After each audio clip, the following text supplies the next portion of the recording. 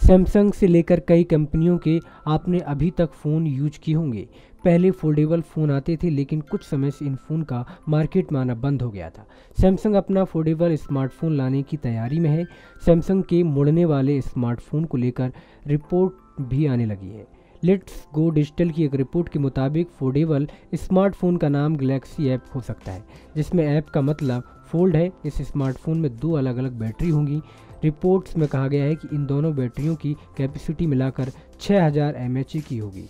आमतौर पर इतनी कैपेसिटी की बैटरी स्मार्टफ़ोन के बजाय टैबलेट्स में होती है। दो अलग अलग बैटरियाँ दो डिस्प्ले को पावर देगी। जहाँ तक कैमरे की बात है तो इस फोल्डेबल स्मार्ट बैंक के रियर में डबल कैमरा सेटअप होगा। यानी इस स्मार्टफ़ोन के पीछे दो कैमरे लगे होंगे।